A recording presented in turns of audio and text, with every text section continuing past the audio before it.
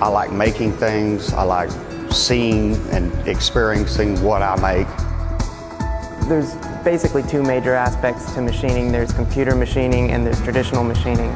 So they start us off on traditional lathes and mills.